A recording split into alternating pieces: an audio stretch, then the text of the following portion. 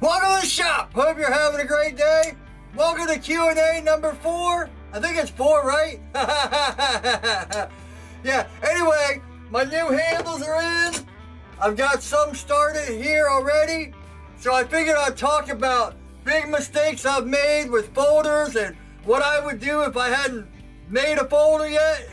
Ideas and, and things to look out for and, and try and, and best ways to make folders and, and just little things that I wish I would have told myself or I could go back and tell myself. yeah, man. I, I kind of like this new design. It gives me plenty of room to mess with here and bring stuff down and turn around. These back backspacers are just from knives I messed up. I'll make sure to put my website up in the card. It's the first down in the description. I got Amazon links, all that good stuff. Make sure to like, subscribe, leave me comments and questions for the next video. Alright, let's get to it. The first thing I would do is, uh, now I saw Alec Steele make a folder, what, probably two years ago now? This was the first folder I made. Now I do it on camera. It's not as snappy, you know, if I try to do it like that, it's not gonna go up. But, well, now it will. but yeah, this is the one I put on the mill and I, I cut out like Ecom Knives showed. If you look at this one, compared to like this one, it's a whole different thing. You know, this one's all fat. This one's a design. Now, I'm saying your first thing you can do is uh, learn like AutoCAD. That's what I did. I, I can't, I've tried to learn Fusion 360 a million times, but you know, if I could learn Fusion 360, I'd probably convert that little mini mill into CNC, but I just can't wrap my head around Fusion 360. See how much more snappier that is? but this is the design I came up with on AutoCAD. And when I printed it out, titanium is a real pain in the butt to work with. Now what I would suggest is, you know, once you get your design, see the good thing about AutoCAD is you can design the blade and you can design the uh, handle. And you can also put them on a pivot so it'll tell you how to close and how to open, how to look and all that stuff. So that's the good thing about learning on CAD. You can tell I've used this bad boy. That's only been like a year. yeah, it was last year about this time I made this thing. But I would say, okay, if you don't know how to do CAD, get some spring steel. That's why I brought up Alec Steele. He made a folder out of spring steel. And uh, it seemed to work. So what I would suggest is get your design down because when I looked at what I had all mine water jet cut, you know, you can tell these have all been water jet cut. When it says on the New Jersey Steel Baron thing that you can even draw it on a napkin and they can water jet cut it, you know. But luckily I know AutoCAD, so that's the first thing. Try to find, now I've had AutoCAD for years. In fact, the, the copy I got was before they started doing the upgrade programs and all that. So mine's real old, but it works. You know, figure out AutoCAD. You might find like a free, like they have the free Photoshop uh, versions and all that, like Blender and stuff. I don't know if they have an AutoCAD one, but try to learn that. If not, take some spring steel. Well, either way, I would get some spring steel because it seemed to work for Alec Steele. Design the knife. You know, if you can print it out with AutoCAD, print it out, make it, you know, get it all designed out, and then get them water jet cut. Now, for these, the titanium was 300 bucks for a 12 inch by 24 inch piece. That gives you 17 of these sizes. So that means I can make 17 knives. Now the water jetting is about 250 bucks. So all in for 17 handles, you it's you know almost 600 bucks for shipping and all that stuff. You know, it's just good to round up and, you know, overestimate 600 bucks.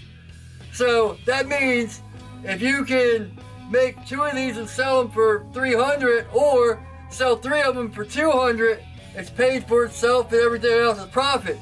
Now the first batch of these, I think I've got uh, two knives for myself and I've sold three and there's two more. So out of 17 knives, I got like eight. and this one is the last one left to finish. So I got handles and all that stuff to do on it.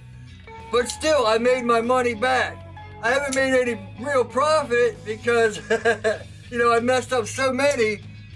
But yeah, so it, it's, it's water jet's the way to go for the handles. Now, the knives I cut out and designed all the knives by myself. You can see, I heat treated these like a week ago. But they're all cut from the designs that I made on the AutoCAD and then I kind of just shaped them a little different here and there. So WaterJet and AutoCAD are the two things I would suggest strongly because man, when you start, it, you know, I've been making knives five years and then I try to make a folder and it's like starting all over. So any little advantage you have. So the other one I have, the other suggestion I have, see how this lock bar drops right here? Well, what I, man, I have ruined probably nine or 10 blades. And blades, you know, all these blades have been heat treated. I would say most of these are from doing this. You mark out you know, where the blade is supposed to drop, like Ecom Knives says, but it's not catching here. So it looks like you, you know, it looks like it's catching up here, so you take more out, and you take more out here. But it's actually back here where it's catching up. Somewhere in the middle or somewhere back here it's catching. And all of a sudden you take it out from back there and the whole thing drops to the bottom. And that blade's gone because you can't make it bigger. Now sometimes I've had it where I've been making two knives and I switch them out and I've gotten lucky. Like uh, this one, that happened on this one. This one right here was actually made for this blade. But I cut this blade too short. So uh, it didn't work. but then I put this blade on these handles instead of these handles and it fit perfect. So I got real lucky. I almost blew the last one. So watch out. If, if it looks like you're you still got a bit to go here, make sure you got it out on this side too, or you ruin your blade. So, and my last suggestion for folders: make jigs for everything. Now, if you know me, I'm not really into like bevel jigs for grinding bevels and all that. But man, when you start doing folders, you will find little jigs to make for everything. Like this jig, for when I got a backspacer in and I don't want the blade in there, I'll put this in there and that way I can get into here and all that without worrying about everything dropping or going out of sync as I drop it. The irony, I say as a, so it doesn't drop and I drop it. These are a new deal I made so I can put four different handles on and what I was doing is I was using double-sided tape or painter's tape and super glue. Check this out. A guy contacted me and said, get a one-inch vise. Now the only problem is, look, it fits perfect. I just got that much clearance for surface grinding. The only thing is, it's such an awkward thing, it doesn't hold it. These are like 30 bucks a piece, so I bought two of them. And it's gonna be coming soon, so I can put one on each end and then, you know, clamp. Because titanium isn't magnetized. And the surface grinder, you click it to magnets, but these will click to magnets. So I put one on each end, bam. There's a little tip I just got today. jigs, jigs for everything. I put my knives on this, you know, like that. Then clamp it, put the quarter inch bolt in and a clamp, and then I do my do my grinding. Boom. All right, let's get to these questions. Some I had to put on for the next one. so Sean asked, I, I, think what he's talking about is, you know, like when I'm up against the grinder doing bevels, I grind like this. But I think he means, can you grind bevels like this? Now, the only reason, I know a lot of guys that sharpen like this, you know, like the grind, the belt's coming down like that and they sharpen like that. The only problem I see with trying to grind the bevel like that when you're grinding like this, you can kind of see your angle and see how it's hitting. You know, and kind of push into it. Where this way you kind of have to look over the blade and look behind the blade, if that makes sense. So you'd be kind of going like this and grinding up into it. But, you know, maybe some people, maybe it works for. Maybe that is better, you know, for some people. I, I don't think I can do it because I'd be breaking my neck you know, looking over trying to, because you have to start with the knife out and push into it to get the bevel. And you wouldn't really know where to stop or where you're, but you know, I'm sure there are people that do it that way. Give it a shot. Uh, for me, I don't think I could do it because I don't even sharpen like that. I sharpen you on the top of the belt like that, so. All right, so Damien asked what's the best way to stop corrosion on a blade? Now what I use, because I sell my knives, is I buy EDCI. Uh, it's like a, it's made just for like food safe knives and corrosion and all that. You know, you spray it on one, wipe it in, and then wait a little bit and wipe it off. But like Keith says, uh, I used to use mineral oil, or you can use vegetable oil. I know on kitchen knives that you can use them both and that works. I used to use mineral oil on all my blades, but since I'm selling my knives now, EDCI is what I use the best. Yeah, mineral oil works great if it's for home use and all that, or vegetable oil.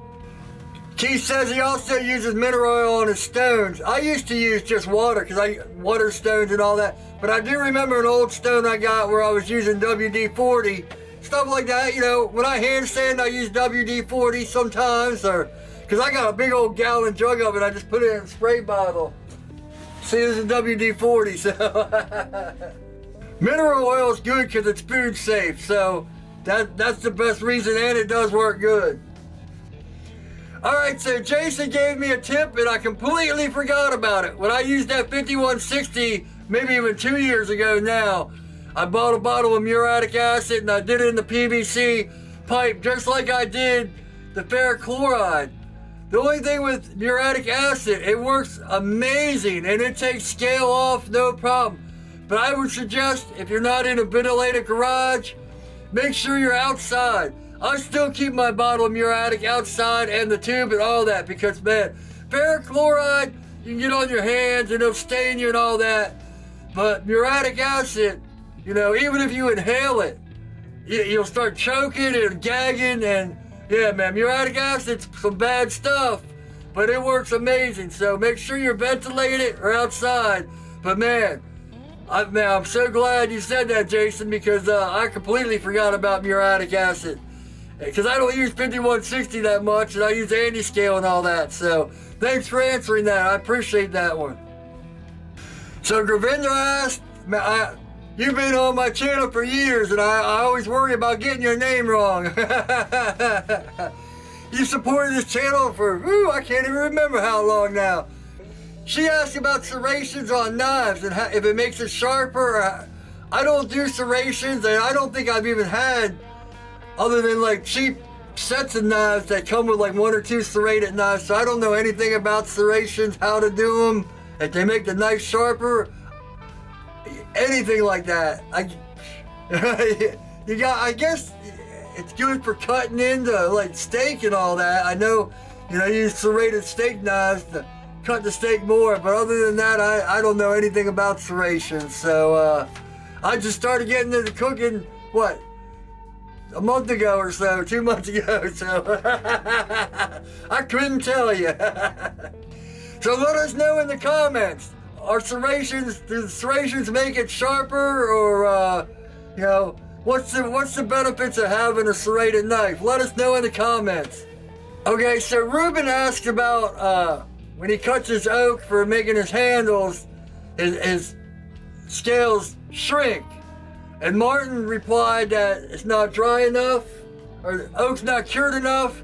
Now, I was a carpenter for like 15 years and built houses, but everything we got came from the wood yard, so it was already cured and finished or pressure treated. Or if it was like, if we were doing cabinets and all that, it was all treated and finished and cured and all that. So I don't know much about the process.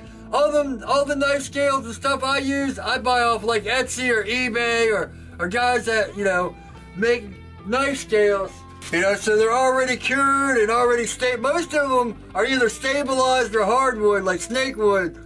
Desert ironwood, I don't know much about cutting your wood and using it. Maybe I would suggest if you're gonna uh, make some scales, cut a piece that's bigger than your knife and then take them in, maybe throw them in the oven. I don't know. You'd have to look up like a wood, how to how do you cure your wood and see if that helps because being a carpenter, I always had the wood finished. You know, it's funny. They say if you want to see the worst woodwork, go to a carpenter's house because they do that all at work. They don't want to do it at home. Stuff like that. so CT Relic Hunter asked about my pivots. Well, if you go to like USA Knife Maker, they're called pivots. You can get them like eighth inch, 3 16ths, quarter inch, whatever. But they're really called standoffs. Threaded female standoffs. Like if you go to McMaster-Carr or MCS or stuff like that, they're called uh, standoffs. Now what I would suggest, if you like black, black oxide stuff, MCS has like the best Torx screws. You know, these are 830 seconds. That's what the pivot is. It's an 830 second. 830 second threaded. So you can go to MCS or you go MSC. It's MSC or MCS. Anyway, you go to them and their black Torx are the best. Usually when you buy Torx screws, they're black oxide and the oxide rubs off and then all of a sudden they turn silver. Now places like USA Knife Maker, you can buy the pivots and they'll actually send you screws with it. So, you know, if you like silver screws, USA Knife Maker might be the best place to go because you get the screws for each pivot.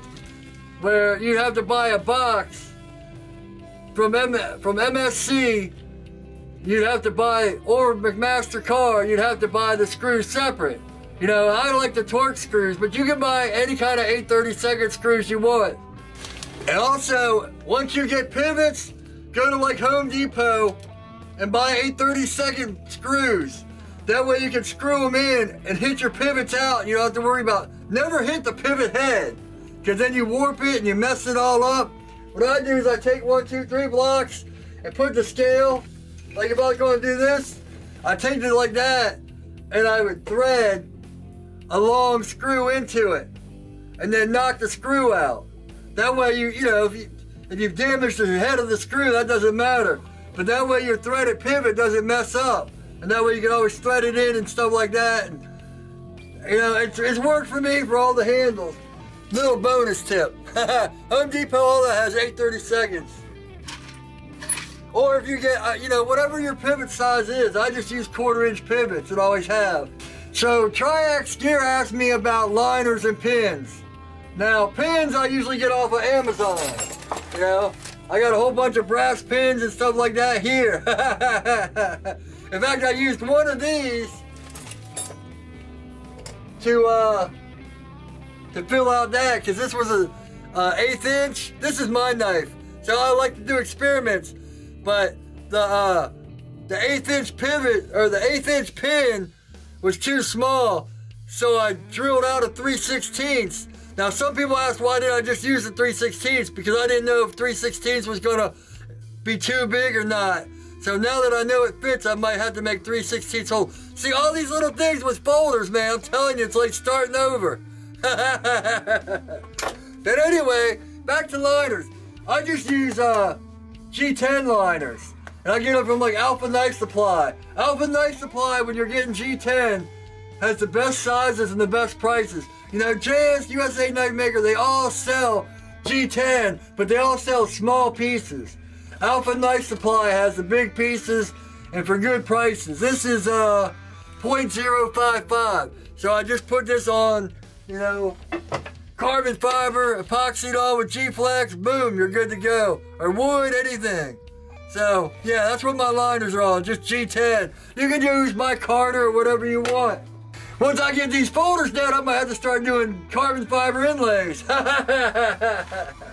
So that's about it. Make sure to leave more questions for next week's. I've already got two or three because I ran out of room and didn't feel like making a third sheet. This is already two sheets right here.